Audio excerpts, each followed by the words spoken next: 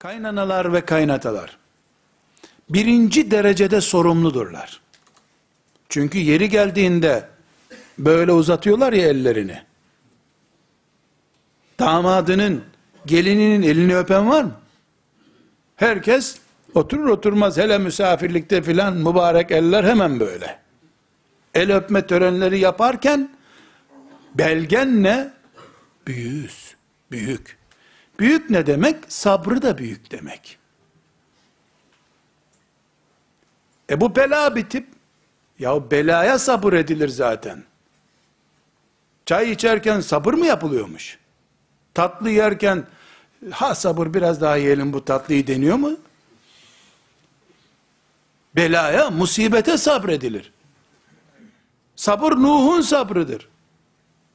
Örnek de Nuh'tur, Eyüp'tür. Aleyhisselam.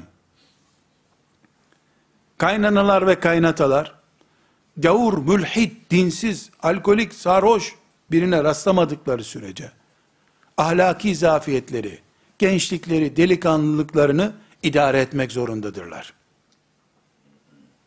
Yasal haklarım diye diretirsen, o da şeytani haklarını kullanır.